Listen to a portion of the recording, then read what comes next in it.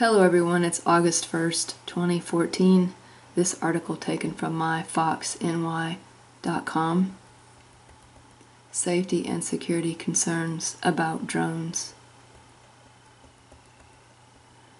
Police say operators flew a drone too close to an NYPD helicopter that was on patrol at the George Washington Bridge and forced the chopper to change its course to avoid a collision early Monday morning as a result, the two men were arrested.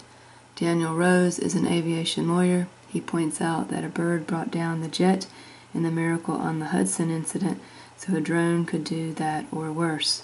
To have a piece of metal essentially that high up in the sky coming in contact with a plane, a plane's engine, a plane's flight control system, a helicopter, can do a myriad of different types of damages, including bringing the plane down, Rose says. Rose says drones are a fast growing industry. Anyone can buy and operate one.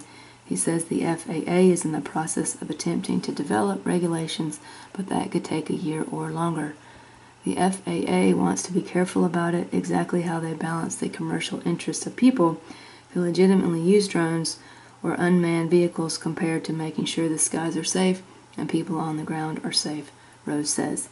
Security expert Robert Strang says the technology gives terrorists a useful tool, and New York is the number one target. He says a drone could carry explosives. The size of the drone is small, but it can carry plastic explosives and it can virtually go anywhere, Strang warns. The head of the New York Police Department's Counterterrorism Bureau has also suggested terrorists could be looking at drones as a tool in plots against the city. Drone Buffs say the doomsday scenarios are far fetched. They say most pilots are tech junkies who use the drones to take aerial photos. Strang believes the New York legislature legislature shouldn't wait for the FAA to enact regulations. The state should pass laws of its own. Strang thinks laws should include, quote, you can register a drone when you buy it, not allowing it near New York City buildings, not using it near airports.